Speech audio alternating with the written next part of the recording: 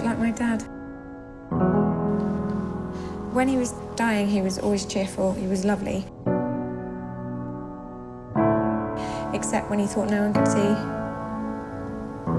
I saw him once. He looked sad. Molly? You look sad. There is a house built out of stone. Are you okay? Don't just say you are, Wooden floors, walls, and windows. Because I know what that means, looking sad when you think no one can see you. Tables and chairs warmed by all of the dial. You can see me. I don't count. This is a place where I don't. If there's anything I can do, anything you need, anything at all, you can have me. No, I just mean What, what can I need from you? nothing. I don't know.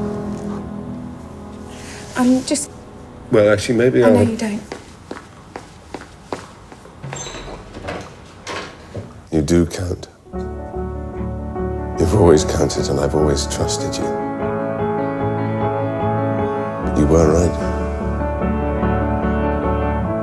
I'm not okay.